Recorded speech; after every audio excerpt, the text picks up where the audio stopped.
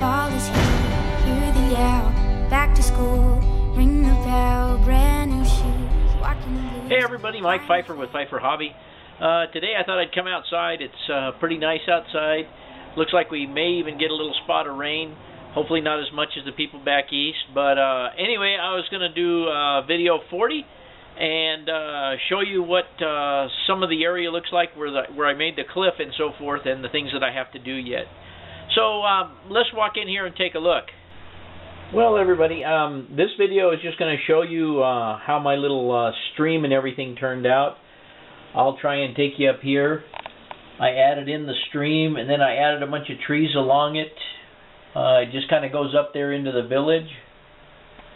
Uh, if I pan back here, we can see the waterfall. And if I swing over this way, maybe you can see the stream along the uh, roadbed. As you notice, I haven't done the ballasting on the track. That's going to be the last issue down there. And if I back up a little more, you can see the trees around the uh, trestle and the water down underneath the trestle coming out of the uh, culvert. And if I back up a little bit more, you can kind of get the scope of the whole the whole area there. I added about another 100 trees. I know it doesn't look like it, but uh, I did, uh, including the ones that are in the foreground here. Uh, in this shot, I, I don't know if I've ever had the camera on the, in the helix there uh, when I've been taking a video. Put my horny toad back up, my horny toad tile after I replaced the uh, fascia had to get him back up. You can see that I've uh, come around here with base scenery, no trees or anything on this mound or anything, and no reballasting of the track uh, back in here behind this hill. Uh, I've got to do some reballasting.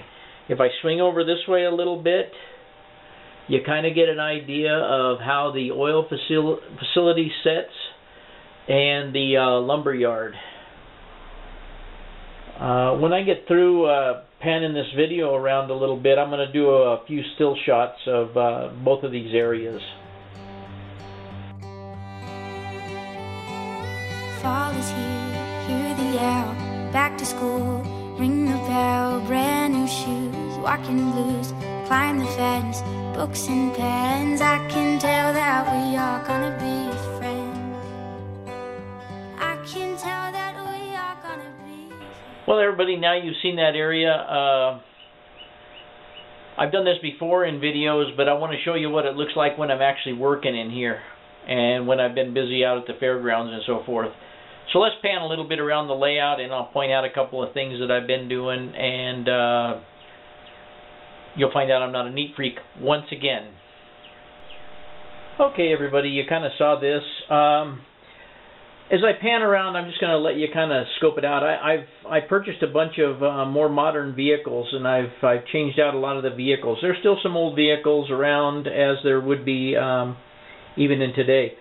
But now uh, this is what you don't see when I'm I'm taking these pictures and I'm working on scenery.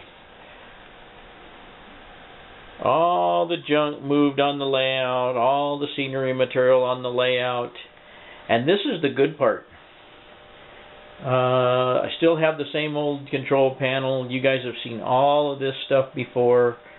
Um, this is just for the purpose of uh, scoping out if you can see them in the video, the more modern, uh, few more modern vehicles. But uh, when I get down there, you see I got a bunch of junk laying on top of the layout. Nothing's where it goes.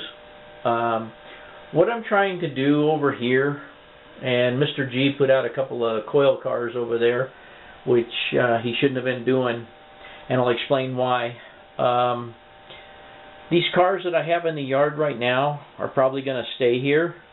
I, I, not stay here, but what I meant is to say is stay on the layout for a little while because I'm trying to find all my car cards. I have car cards for every car that I have, and I'm trying to get Gavin to go through his cars and, and uh, make uh, cards for his because he wants to get involved in the switching portion of, of all of this.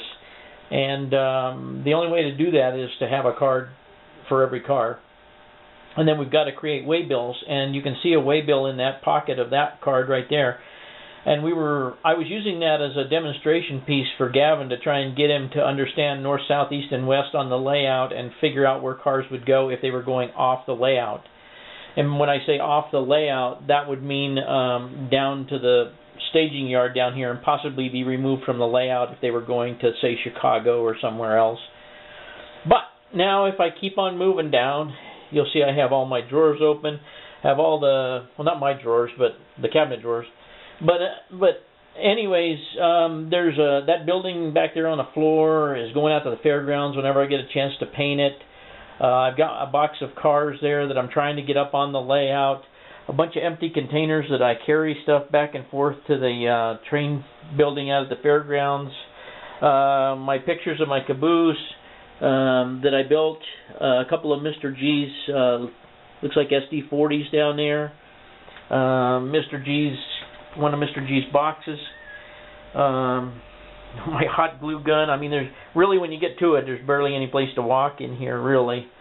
Uh, I still don't have my um, DS64s rigged up correctly. Uh, I'll get into that in just a minute. We'll explain the DS64 thing. In fact, I might make a, a, a its own video about it, but I'll briefly touch on it.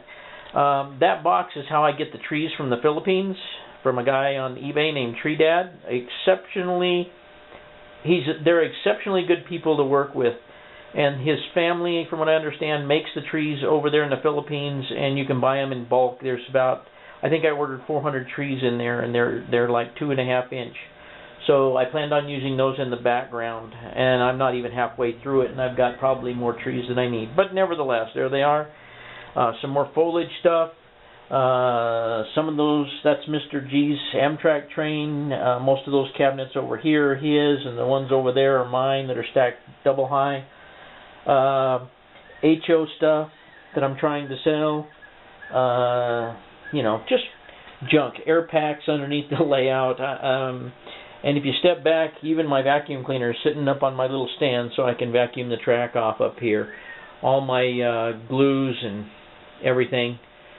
And I know maybe to some people it's not as totaled as they may think, but for me this is chaos.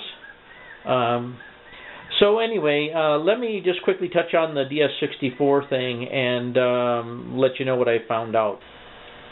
Okay, gang. Um, I decided that I, I am going to do a little video on the DS64s, but but uh, basically what I was going to touch on is that it. Uh, they come on and all your turnouts um, I have them set to come on when the uh, system itself comes on and they all start jumping all over the place and wind up being all set odd and I have um, called Digitrax and found a cure for that.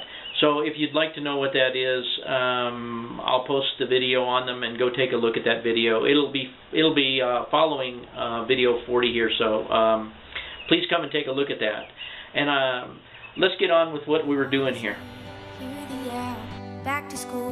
Ring the bell, brand new shoes, walking blues, climb the fence, books and pens. I can tell that we are gonna be friends.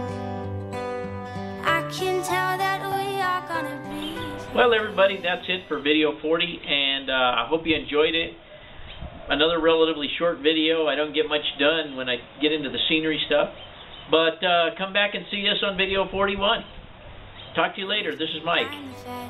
Books and pens, I can tell that we are gonna be friends. I can tell that we are gonna be friends.